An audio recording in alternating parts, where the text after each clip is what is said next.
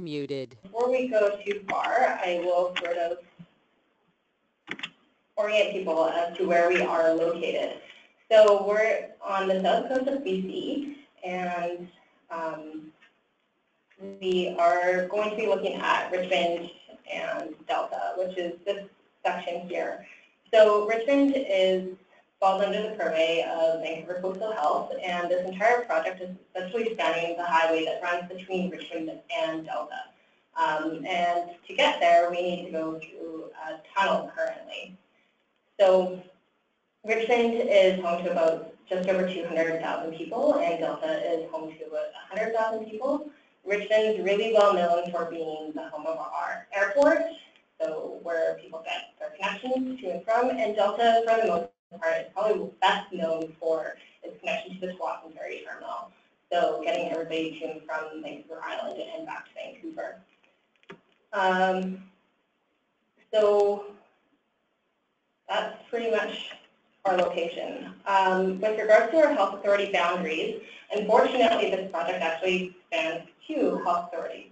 So in BC, we are split up into five different health authorities and we are, um, Vancouver Coastal Health looks after Richmond and Fraser Health will take care of the, Delta side or um, and so we both participated in the environmental assessment, but in very different capacities. Within Vancouver Coastal Health, we found that it was a really great opportunity for our Healthy Built Environment team to get involved. And so we decided to put a whole crew of people on this project, whereas with Fraser Health, they had their medical health officer and their human health risk assessment specialist participate. So this is a pretty good picture of the day-to-day commute for a lot of people who are going through Richmond and into Delta. So the Delta, or sorry, the George Massey Tunnel currently has about 80,000 cars a day. Um, and it's a four-lane tunnel, two lanes each way. Um, and it connects to YVR, the U.S. border crossing, Tsawwassen Ferry Terminal, Delta Port, Boundary Bay. So it's essentially connecting anything coming from the south of um, the Metro Vancouver area, which would be Delta, all the way into downtown Vancouver. So without this tunnel, it's a massive piece of our infrastructure, and it's vital to our goods movement routes. Um, interestingly, the tunnel was actually built and finished in 1959, and it was very integral into connecting Delta and Richmond to Vancouver. Prior to 1959, these areas weren't actually connected very well to Vancouver, and so we kind of needed something. And so what we've seen is that because Delta is so much smaller, it's needing that, um, it's really wanting a huge um, transportation corridor to connect it to the greater, or the, the hub of Vancouver. So our project overview. So the proponent is the Ministry of Transportation and Infrastructure, and the project itself consists of replacement of the four-lane tunnel, and it will include an HOV lane. And so the replacement of the four-lane tunnel actually means um, turning it into a 10-lane bridge. So this includes an HOV lane or transit-specific lane, and it will also include the on and off ramp replacements all the way through. So you can imagine going from four lanes to 10 lanes we need quite the extension of highway um, on an off ramp planning, a lot of engineering going in place. It also includes the tunnel decommissioning. So tunnel decommissioning, the tunnel is actually set up in six spots, and it will be taken up for, for the middle sections will actually be taken out. I'm going to move the mic a little bit because people online are saying they have a bit of trouble hearing with the mic on. So, sorry if I could just get you to speak a little louder. Okay. The mic. We'll try. Um, all right. Uh, so the Ministry of Transportation and Infrastructure actually put together a fact sheet for all of the, for the general public. Um, and they promoted the project as a green project. And so they talked about the six key factors, essentially environmental enhancement and restoration. So they wanted to talk about some of the ways that they can improve um, the existing green areas. So in Delta, they have Burns Bog but also Deas Slough, which is actually right between, right underneath the current configuration of where the bridge will be. And so they wanted to take those opportunities to enhance the natural areas that currently exist. They committed to world-class transit, so that means that in their plans, they have one lane dedicated to transit and HOV capacity going both ways, and then potential for rapid transit to be integrated into the bridge at a later date should funding ever become available. They wanted to look at safety and resilience.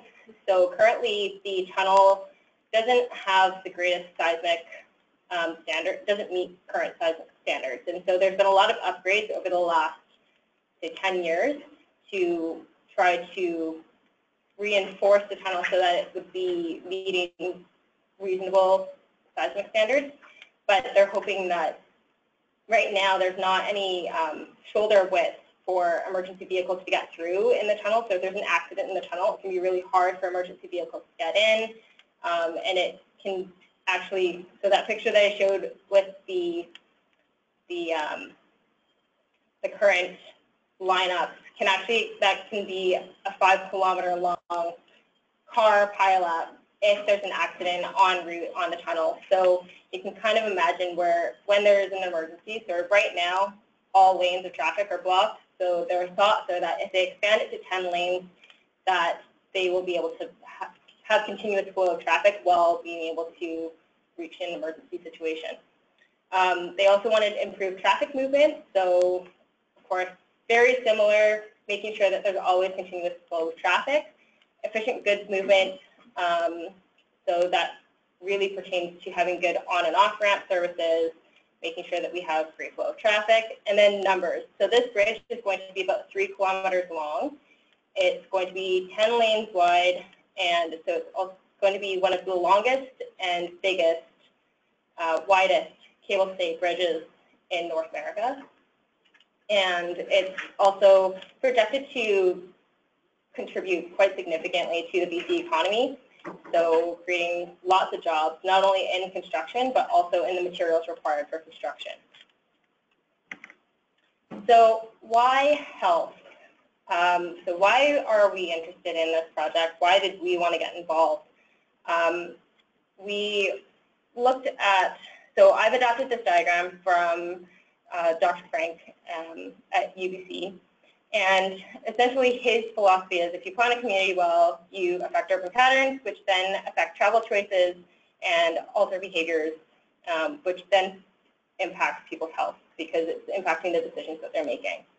So with this project, the planning of the route, i.e. development of a 10-lane bridge, affects the urban patterns, so how people are being able to travel between Delta and Richmond, and therefore choosing changing potentially the travel choices or altering the behaviors that people are using to get from one point to another.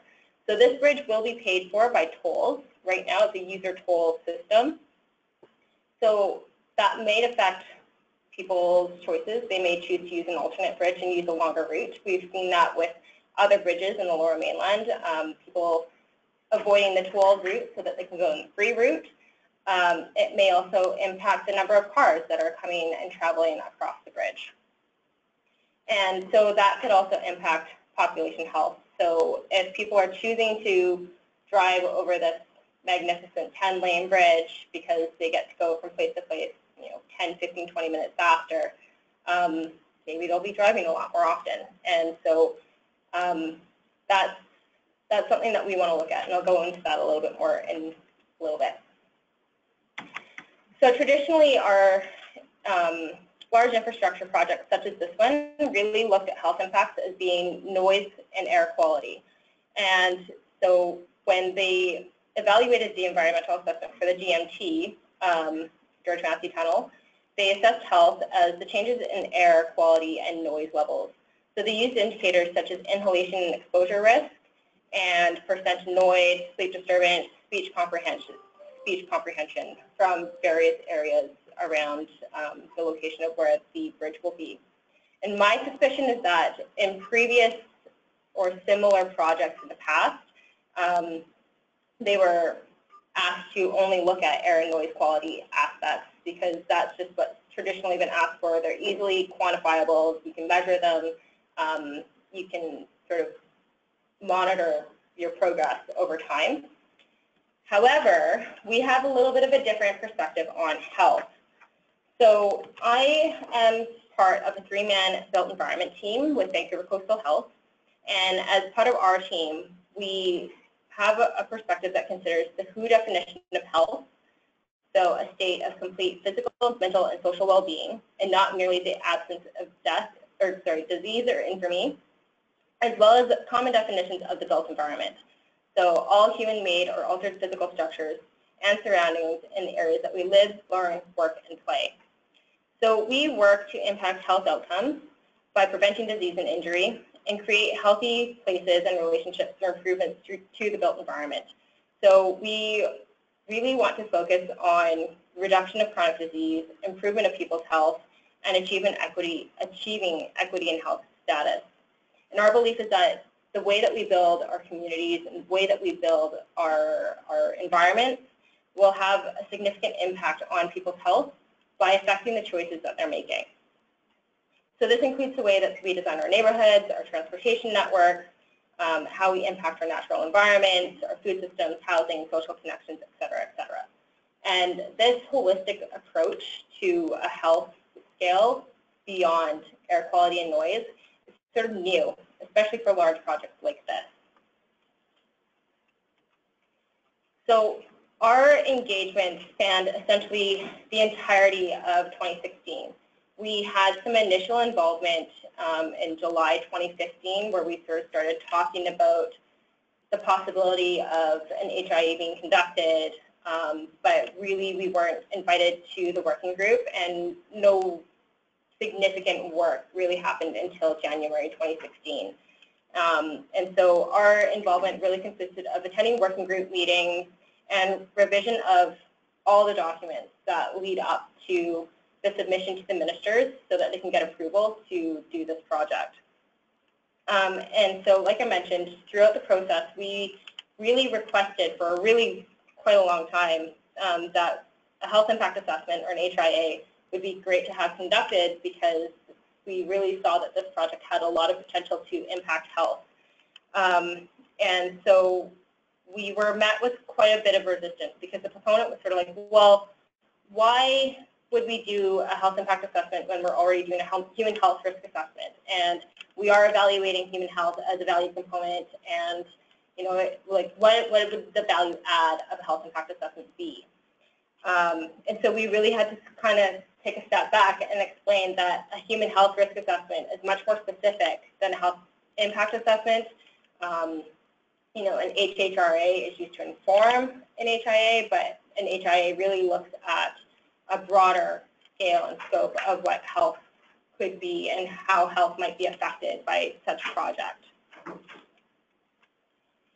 So our first meeting was in January 2016, and we met with the Environmental Assessment Office of BC, which is the EAO, and they conduct all the environmental assessment reviews in the province and the proponent, the Ministry of Transportation and Infrastructure, MOTI. And in this meeting, they went through each of the value components, and those are the elements that are considered to be, um, to have some significant scientific, ecological, social, cultural, archaeological, historical, or other importance. And those are the things that are going to be assessed throughout the application. And so they included fish and fish habitat, amphibians, wildlife, mammals, vegetation, land use, human health, et cetera, et cetera. What we found is that our engagement really started when we got to review the draft information application, application information requirements, and also known as the DAIR. Um, and we found that the process for the environmental assessment isn't actually well suited for our comments possibly because of the lens that we came at the project with, because we wanted to, we would have preferred to have evaluated the different options, because unfortunately with this process, by the time you get to an environmental assessment, the project has already been sort of quite well defined. Um, by the time we got involved, they'd already decided to do, propose a 10-lane bridge. Um, and I think the perspective that we came at the project with was that, well, it would be really nice if we could do a health impact assessment to evaluate the five different options that were originally up for consideration. Um, so that really bounded us in terms of what feedback we were able to provide. Um, the application information requirements, or the AIR, is sort of like a table of sorry, a table of contents. And so it identifies all the components that will be addressed and what will be assessed in the actual application. So it doesn't actually sort of lay out everything that is assessed, or it doesn't actually tell you any conclusions, but it says these are the things that we're going to be looking at. It's funny because in their template, in the EAO's template for the AIR, it actually says that the health value component could include things such as worker safety, uh, worker health, recreational aesthetic features, levels of physical activity, indicators of community health. Um, but these are all things that are kind of hard to measure. And as I mentioned before, I think traditionally we really have only focused on the things that are easily quantifiable and measurable.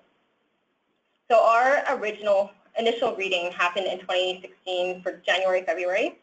And we brought forward comments such as health should be considered as a criterion to evaluate the potential crossings. So that, again, sort of speaks to the lens that we came at the project with. We also talked about the effect of air quality. Um, so we talked about how the bottleneck that currently exists in that picture that I showed of the um, commuting uh, gridlock might actually shift northwards up to Oak Street Bridge, which is up this way here, where the red circle is. Um, and so we also spoke to possible longer queue lengths in that area. And so what we asked for was that the local assessment area, or LAA, be expanded to include the Oak Street Bridge as a component. Um, and we'll kind of, I'll be touching on that quite a bit um, coming up. Um, so we did make that recommendation because essentially um, the project really consisted of whatever is covered in purple was what was assessed, and it was one kilometer beyond the purple line in terms of its assessment and not beyond.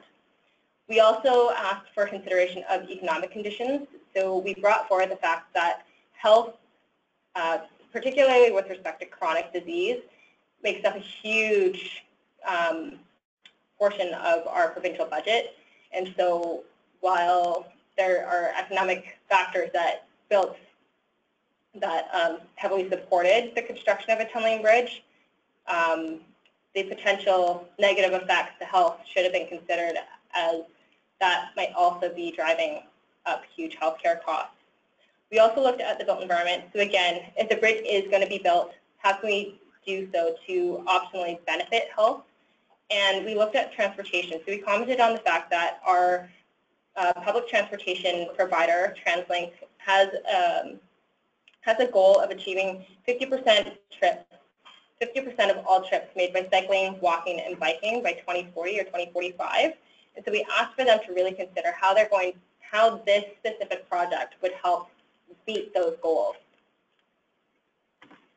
So once we provided our first round of comments, the uh, proponent was able to provide us with their responses. And so we were given a Word document from with all of the initial comments from all of the other stakeholders. And there were 272 comments made in total. So that's a lot of comments to go through for both the proponent as well as for us because it's nice for, it's, that was our first chance to see what other people had said. Um, so some of the samples of the responses that we got were that the criteria was health related, but it wasn't health specific um, in terms of determining um, which of the five options would be best suited for this region. Uh, length may be a little bit longer in the Oak Street Bridge area. However, it should be noted that even without the project, queue length would continue to be longer and maybe even longer than that. Um, the assessment um, would look at the project scope. And so again, looking at one kilometer radius sort of around the project boundary. Um, greenhouse gas emissions would decrease and there should be an overall benefit to air quality um, in the local assessment area, and the economic benefits are, are there. Um, but we disagreed. So we provided some more feedback again, and we said that from a health perspective, um, refusing to expand the local assessment area is unsatisfactory because, so we continued with our recommendation to expand the local assessment area to the Oak Street Bridge, um, which is Oak and 70th as an intersection. And we continued to link the economic burden of health impacts um, and healthcare costs, particularly those to, um, linked to physical inactivity. And we said that the bridge may actually increase the number of drivers on the road and therefore make people more sedentary, keep them in their cars. Um, it's essentially promoting people to live the sedentary lifestyle um, and not try to integrate active transportation into their lifestyles.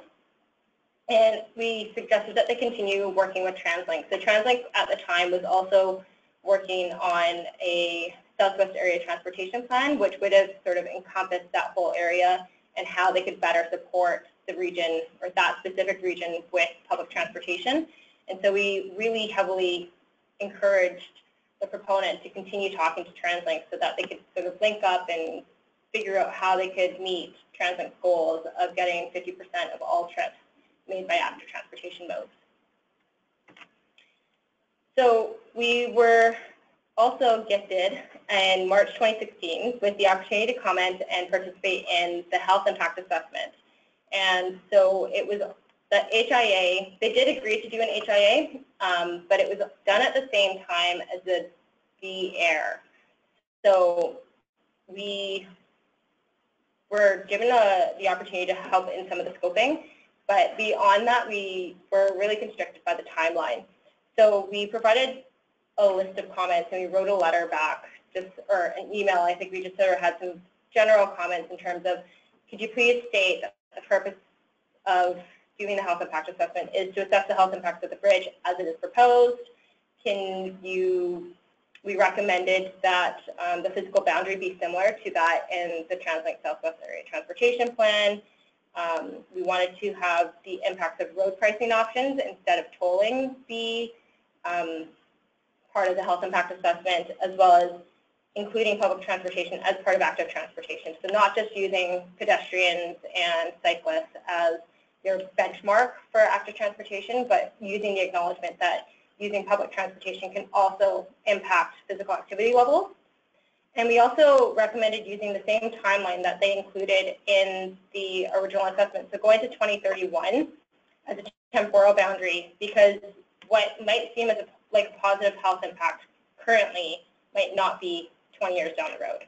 And so that was sort of the direction that we wanted them to start thinking about. Um, and unfortunately, we weren't, because we weren't included, some of these pieces were sort of seemed to be a little bit beyond the scope. And I think had we had a little bit more time, we would have been able to incorporate that a little bit more, a little bit better. But we were really bounded by this really tight timeline that they had. So once we reviewed the application, so we had two rounds of the draft information, draft AIR that came out. And so once we finished reviewing that, we were then given a screening table um, just to see if the AIR had everything that they said they were going to have. And so it was a little bit challenging because what we found was that we had enough time to sort of just make sure that all the content was there and that what they had said in one document was included in this document. But I found myself asking, okay, this is mentioned, but it's not explaining how far in depth and is just mentioning that we're going to talk about health sufficient um, or what level of detail is going to be enough. So this was my first environmental assessment exposure, it was sort of, I found it really difficult to sort of say, okay, where is that line and what, what is enough and how much information is too much. Um, we didn't, because of that, we didn't end up providing that many comments. We provided some comments on formatting, um, and then we asked for a copy of the HIA because it said that the HIA was completed, and we hadn't seen a copy of it yet. So we asked for that to be provided and we asked to be identified as specific stakeholders. Following that, they gave us the application in the middle of the summer in August, and we were given the application to review. And we were provided, again, with a very similar table to what I just showed. Um, and we found, again, that a lot of our comments were really needing to be tailored specifically to the HIA because what we found was that because of the proponents' responses and refusal to expand the local assessment area, um, and um, they felt that things such as public transportation didn't fall under their scope of work. Um, we were probably better off looking at things that were within their their capacity to, to comment, to actually elaborate on, particularly with regards to design of the bridge um, and engineering. So we spoke to a lot of the final conclusions that were drawn out of the HIA, and we spoke to some of the weaknesses that we found in the HIA. So things such as transportation equity, um, needing to make sure a lot of the conclusions were based on the fact that trans public transportation funding has been fixed. Um, and for those of you who are in BC, um, you probably know that we have had some public transportation funding issues um, recently, and so that was something that we wanted to make sure was really clear when we wrote back to the proponents. They were saying, okay, well, you can make these conclusions, but we need to make sure that we have um, funding secured to make sure that a lot of the things that we want, that you're saying are going to happen, will happen. Um, and it became really clear to me that it was really difficult to start working in a multifaceted group. And in transportation, it becomes multifaceted very quickly because you not only have your transportation infrastructure, but you also have your public transportation groups and then your local government groups. And they each see themselves as taking care of only one part of the transportation piece. So MOTI, the proponent, didn't feel that public transportation fell under their scope of work, um, even though they're providing the tools for public transportation to work effectively. So they felt that the real success of having transit be effective fell onto the shoulders of TransLink. Um, so that was a little bit difficult to kind of wrap your head around and sort of get everybody's mind thinking in terms of like no silos work together. Um, so this shot is actually an aerial shot of the current George Massey configuration. So under the water is where the tunnel is. Um, and so the bottom part of the screen is the Delta side and the north part of the screen is the Richmond side. And this is what it will look like um, when the bridge goes through. So I thought that was quite interesting. It changes the landscape quite significantly. Um, that stretch of green is the Deas Slough that they are hoping to enhance. Um, and so following our submission of the application comments, application review comments, we received a response from MOTI in October 2016.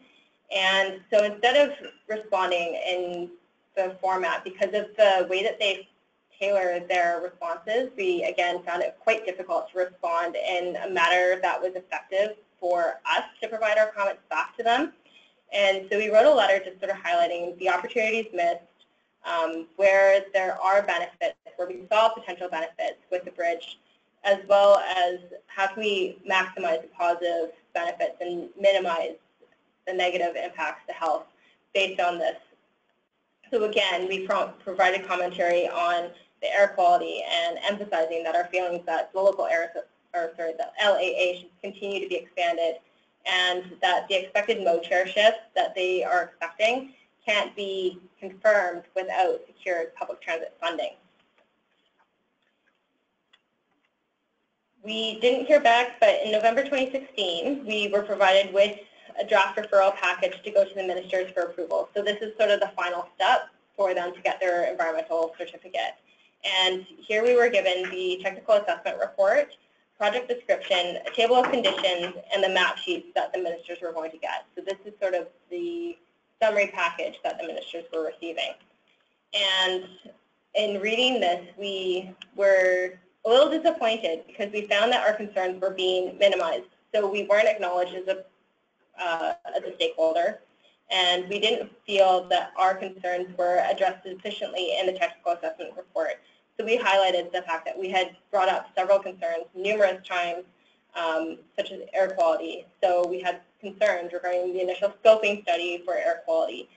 Um, traffic, we had numerous concerns on the queue length at Oak Street Bridge, and we had some concerns about the modal shift assumptions that were being proposed. So we made the following request. We asked that an amendment to the technical assessment report be included to include our concerns and include us. And then we wanted to be included as a stakeholder for the interagency working group and the transportation working group. We also wanted to include VCH as a stakeholder in the, in the development of the environmental assessment or environmental management plan. So once construction had been going through, we wanted to be part of that, um, the group to continue to evaluate the project. So we found that there were a number of struggles that we had as a team. Um, one being that this was a lot of people's first exposure to an environmental assessment, and so I think a lot of us didn't really quite know what we were getting into, what the scope of work was going to look like. And I, I'm pretty sure that even with the challenges that we're faced in this project, going forward into another environmental assessment, it'll be much easier just because if you've gone through the process once, it automatically becomes easier. It's one of those things where the first meeting, everything makes sense in part, but once you start putting the pieces together, you get totally lost. And so um, now that I've kind of gone through the whole thing, it's easier to kind of explain it to other people. Um, and I think the next time I do one, it'll be easier to participate. We found that we had a lot of issues with time constraint and capacity. So the timelines are really, really tight. So we typically had about anywhere from two to three weeks. Um, but we are doing this on top of our regular jobs. So we had about four or five people in our group participating in the review, but a lot of the time we ended up only having one or two people that were actually able to put time in and review the documents in, in their entirety. So, for example, with the application review, in the timeline, it said that we had 180 days, which sounds great because that's six months, and we were like, awesome, we, we have tons of time. But in reality, we actually only had 30 days to review the application, um, and that included weekends. And then we had to, the proponent had 15 days to respond to us, and then we were given an additional 25 days to provide a response back to them, and then they had to put their package together to send to the ministers. So that 180 days isn't actually all review process. It's the putting together of the entire application. So that wasn't clear until we actually got through that process. And what we found challenging is due to the nature and the perspective that we're taking with regards to the built environment, it's really easy to get very overwhelmed with the scale of potential for us to be involved and where we see the health impacts. And it it was really important for us to start scaling and deciding where is the biggest bang for our buck, where can we provide the most significant uh, feedback to ensure that we actually have some um, that we actually have some effect in the long run. So we focus a lot on, again, the air quality and the land use issues, transportation issues. Um, I think going beyond that, it just became really overbearing because we could say, well, we can make health effects linked to the Aboriginal concerns, cultural concerns, um, viewscape, green space, wildlife concerns. It, it just gets too onerous and it's, we're a really small group. So we need to sort of focus on what is the purpose of the project and where do we see the greatest impact to health. We also found that because there's no legislated context or requirement to consider the broader health context, um, it makes it, that also made it quite challenging. And so our participation, I think, for the EAO and MOTI was a little bit of a shock for them because they hadn't had that perspective and we, they hadn't been asked to think about health beyond air quality and noise in the past.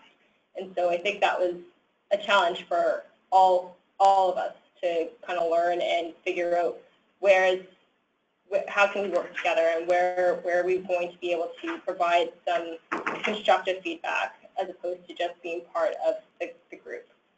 Um, so things such as equity issues, border boundaries, to fully assess air quality impacts, um, and looking at the the population as a whole and considering the fact that people don't just stay stagnant in one spot, they're moving from municipality to municipality, they cross borders, um, we're all mobile. So we, we don't just stay in one spot. So how can we do that?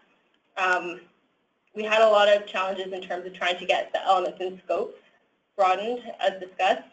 And we brought forward concerns that I think people don't typically consider as health concerns um, because they aren't immediate. So we're looking down the road. We're not saying, oh, well, you know, our air quality is particularly bad today, so people who have asthma are going to have really a really hard time. We don't have those recommendations because we're actually thinking down the line, 5, 10, 15, 20 years down the road, what are the health impacts going to be if we have increased traffic? Um, but that's really challenging to try to get across to people. For us, it was really easy because we already, we've already bought in. We know that the health impacts of these types of projects can really have long-term effects down the road. But when you're trying to explain that to somebody who works in infrastructure, who works in something where you sort of see project A and project B, and once it's up, they're kind of hands off, it's really challenging for them to kind of grasp that concept. And so I think we still have a long ways to go in that. Um, I think what we find, um, we, we, we were trying to convince individuals who they design for car movement. They don't design for the movement of people. They design for cars. And so we're trying to change that philosophy. And we wanted to, we were contending with the idea that they thought that providing a cycling lane and a pedestrian bridge and an HOV lane equaled providing and supporting public transportation. And in my mind, over a three kilometer bridge where you don't have that much in terms of a place to go to on either side of the bridge, um, so you're looking at essentially a minimum four or five kilometer, I guess five or six kilometer walk or bike ride um, to get from one end to the other to actually get somewhere is not provision of active transportation space. Um, and so we need to kind of say, well, just because you build it doesn't mean that you're actually going to be encouraging people to use it. You need to not just build the infrastructure to be there, but it needs to be functional and desirable for people to use. So in terms of lessons learned, there was there were a number of them, um, but we found that the earlier that our involvement, the better impacts and the better results we can have to impact health.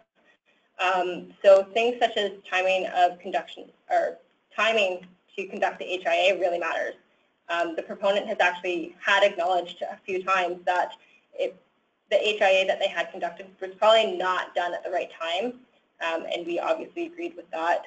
And it was done really quickly, which, um, I mean, in some cases can be really good, but I think to have a full assessment, um, we probably needed more than a really quick summary.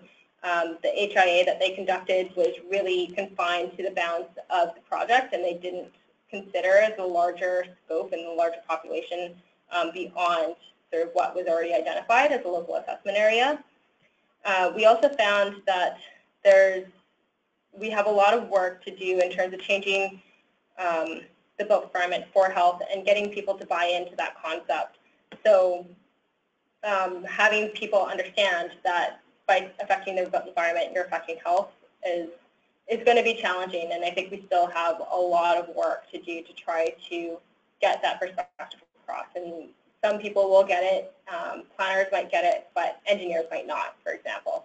Um, we probably would have benefited from providing a cover letter off the bat, sort of stating what our intentions were and where we wanted to go with things, just so that we would have lessened the needing to figure that part out as we were going through the process, um, if we sort of just laid it out right up front. Um, and I think having them think beyond the immediate health issues is going to be another challenge coming down the line. Uh, we probably would have benefited also from collaborating with other groups, such as local governments and Aboriginal groups, although I'm not sure whether or not it's better for each of us to be saying the same comments separately or to be jointly saying the same comments. Like I said, with the way that the table of providing, the ways that we are being asked to provide our comments might not actually work really well for a joint submission. So it's not clear to me sort of what, what might be more effective because the letters didn't seem to make their way into the comment period. Like they were, they're public record and they're online, but they're not, um, you know, in terms of the review package and what gets sent to the ministers, that might not be the most effective way. Um, but I think we can still provide the GMT as an example of where our collaborative voices could carry more weight in the future. Uh, what we did find is that the First Nations groups and Indigenous, Indigenous populations and the local governments and Metro Vancouver provided very similar comments to us. So I think by um, them knowing that we are also interested in the same things that they are, I think there's potential for better group work in the future, whether it be on a large infrastructure project like this one, or at least that they know that this is a direction that healthcare is interested in moving towards, and it's not just going to be all about you know, providing services. And, um, you know, we are kind of looking down the line at how things can go. Um, again, a huge lesson learned for myself was that we can't tackle everything. We need to prioritize. And it's a learning process. We're all learning, and not only are we learning, but we're also trying to teach our proponents and the people who are in, being engaged in these projects, the proposers, um, what our visions are and how we want to go ahead and sort of build these communities.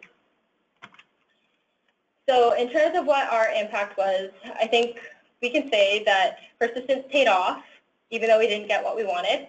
We did get an HIA completed, and I do think that that is a win.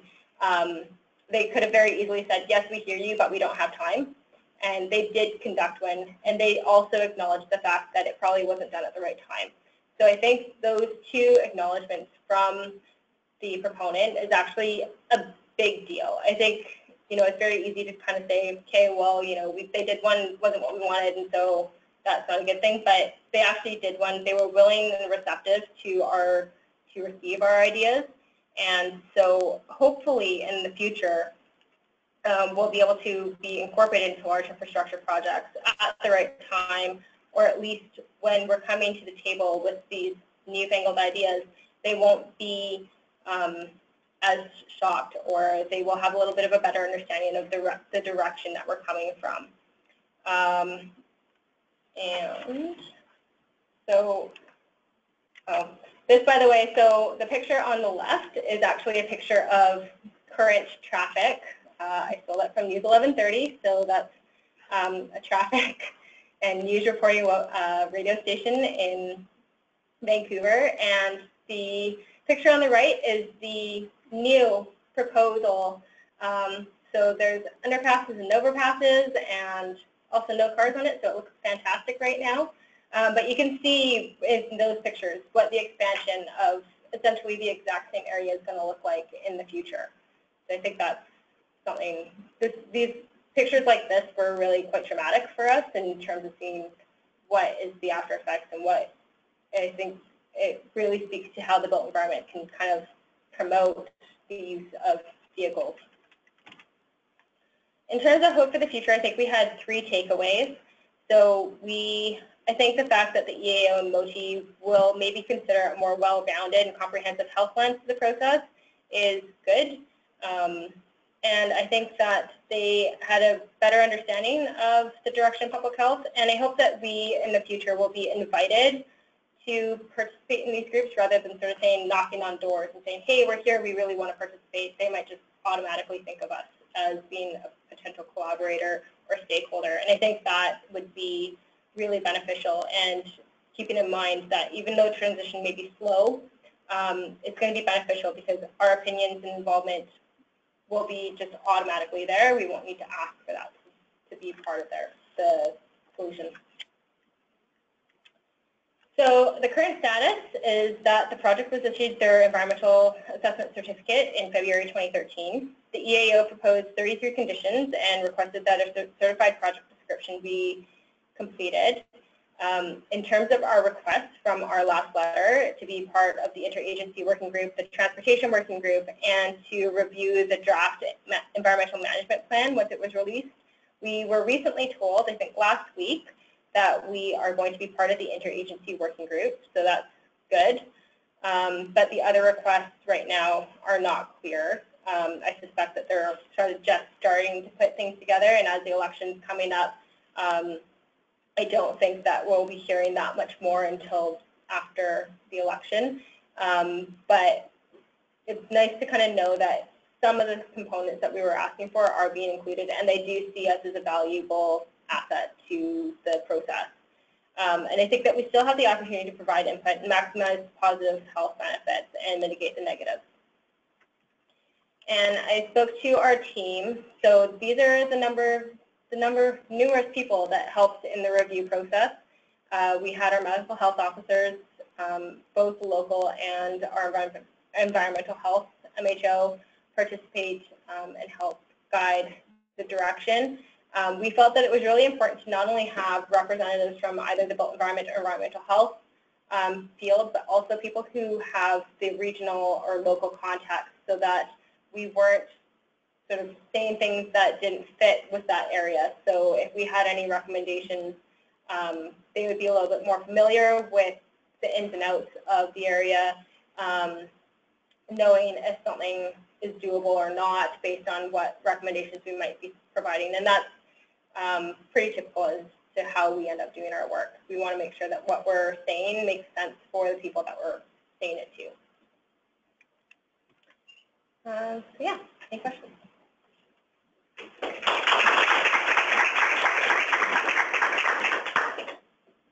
Thank you, Laura, for the very informative presentation. So we'll start with questions from in the room first, and in the meantime, people online, if you could type your questions into the chat box, we'll get to them accordingly.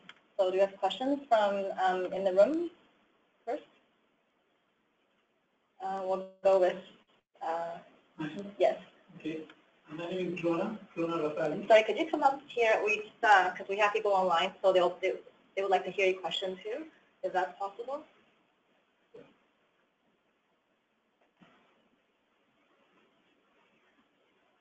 Uh, My name is Drona Rosali. I'm the Director for Population Health Surveillance and Epidemiology at BCCDC. Uh, My uh, question is said that uh, uh, health impact assessment has been completed now, and um, in terms of measurement, how much scope, how many indicators have been included, and what is the scope in terms of especially social determinants of health? You emphasize that uh, WHO um, definition is quite Mhm. wide. Have you all considered that? Uh, Or, We wanted it to be included.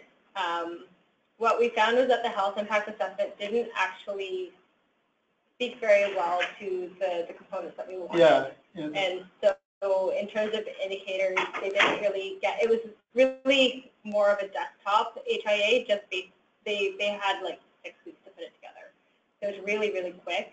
Um, and we didn't find that it assessed everything that we really wanted to. They kind of just came to these conclusions without, with the assumption that public transportation funding was going to be available um, and that um, there would be some way of having uh, road tolling or road pricing sort of worked in there somehow, um, but we didn't find that it was actually very comprehensive. It didn't answer a lot of our questions, um, and that's where, you know, yes, they did one, but we didn't get anything near to what we wanted at all. yeah. I imagine that. Uh, That's why I was raising that question. Uh, Up in North in resource development, we are trying to build a list of indicators and prioritize them. How can we get a comprehensive view of social determinants of health in terms of social uh, health impact on, from the resource development? And this infrastructure uh, industry, uh, this also needs to come, uh, include those uh, indicators. Yeah, yeah, and um, I just actually came from another meeting where we're talking about HIAs, and um, I think some of the things that we're struggling with right now is what are the trade-offs, and what is what is the benefit of doing an HIA if they're already doing a social impact assessment and an environmental um, assessment or you know economic assessments? Like, do the conclusions of what we've seen is like a lot of the conclusions end up being very similar. It's just how you get there is a little bit different. Um, and so I think for some of these larger infrastructure projects, an HIA might be beneficial. Like I think for a project like this one, they probably would have benefited from doing one when they were trying to decide which out of the five, um, whatever five um, options they had going forward would have been good. Um, and then I think having indicators and measurements and being able to read things out into the future would have been more effective. But right now, what they had put together for us didn't have that. Okay, thank you. A question in the back as well? Uh, that basically answers. Okay. And Can you come up, please? Um, you, yes, thank you. Yeah. So I, I find it baffling that we could get this far in a project like this and not have some integration of a public transit option on a bridge that's going to be spanning the, the, the- river uh, uh, uh, in the way that this one is. And I'm a little bit confused that it could happen that we could get to the point of approving a bridge that doesn't have a whole section dedicated to public transit. Maybe you could speak to that a little bit, wha- how even before all of the things that we've talked about, somebody didn't say in concept, we can't do something like this without engaging um, uh, with TransLink to include a, a a public transit option that's more than an HOV bus, uh, bus lane. Um, The other question I have is, is it looks like this is Vancouver Coastal. This terminates at, in Fraser. Fraser. Do they have a similar body that could be, could have been engaged to sort of bolster the, the, the, the folks that are involved in pr- promoting some alternative to the way the project unfolded? And I think there's an environmental health segment of the Center for Disease Control that I wonder if it wouldn't be, be appropriate to have pulled in at some point too, so that the collaborative body working on pushing for some kinds of alternatives might have been bigger. Yeah, so um, I don't want to, I mean, Fraser Health was actually very involved, in, engaged and involved in this process. Um, their medical health officer, uh, Lisa Mu, was very um, integral to speaking about the transportation effects with us. Um, she attended a lot of the transportation meetings with us, and we had a lot of conversations with the proponent on transportation. Um, but yeah, I mean, this was our first involvement in a project of this scale. Um, it's, I think, MOTI's and the EAO's first foray into including health into that discussion, which is, um, I mean, I know that Northern Health and, and for, you know, other projects, um, health is typically involved in, in some of the, you know, say, maybe not quite infrastructure, but they get involved in some of the like mining and, and those types of projects up north, but very, I mean, I think this is sort of the first time that we've really been engaged at this level. Um, so for sure, next time, I think there's a lot of potential for more collaborative efforts um, across groups. Uh, with respect to the public transportation piece, I can't really, I mean, this is part of the challenge that I was speaking to in terms of like they're saying that we're providing an HOV lane, a transit lane, and we're providing space for potential rapid transit in the future if you get funding. Um, and that is sort of like, yes, we're committing to world-class transit. And TransLink was part of, was an engaged stakeholder at the group. Um, but I, I don't, I think part of the, the issues are that there's like no mandates to get to that, that point. And again, like we've only, I mean, our team is quite new. We've only been in existence since 2014 as a built environment team with Vancouver Coastal Health. Um, and so I think for, for us to kind of get on board was one thing, and now we've kind of got to bring all these other um, groups, the infrastructure groups and engineering groups on board with understanding that some of these changes really impact, have significant impact for health, and that providing a bridge, providing just, you know, a bike lane and a pedestrian lane and uh, an HOV lane isn't enough. Um, but we, we aren't there yet in terms of trying to, I mean, TransLink's bought in, we work really well with TransLink, but um, going up the levels. Well, why should it fall to Vancouver Coastal to resolve that? I would think that within a provincial context, there should be somebody that says, before we move forward on a mega project like this, we have to pull in everybody that's got a vested interest in how the project will impact the environment, not just the one health authority on one side of the bridge, but at, at a provincial level, right? Am I, am I missing something here? It just seems weird that that Yeah, hadn't been considered before somebody said, hey, here's an idea, let's build a bridge. What should it look like? Instead of halfway along the line, one health authority jumps in and says, well, hang on. let's well, and like I said, I mean, Fraser. Health was, was involved in the process. Um, but again, like, you know, we were caught, we were all sort of asked to be part of the process late 2015, early 2016. Um, these discussions have been ongoing before our team was formulated. I mean, 2012, 2013 was probably when discussions about whether or not a bridge should or should not be built were happening. Um, and I don't, I don't know. I, don't, I, I guess I like my, don't- my best response to you is go out and vote on May 9th. um, I, I don't mean to sound like I'm faulting No. you, but great on you for doing this. yeah, I wish more had. That's kind of the absolutely, frustration. absolutely. I And wish I it think was a bigger body that had pulled together to say, let's put the brakes on this and go back to step one. Absolutely. No, and, and, um, it, that, that was a lot of the challenges. Like, this entire process was very, very fast. Um, it was, to my understanding, a little obscure in terms of, um, how it was presented and, like, the speed at which everything was done was quite fast in comparison to some other projects. Um, and so I think in, in that context, you know, we're limited by sort of the process.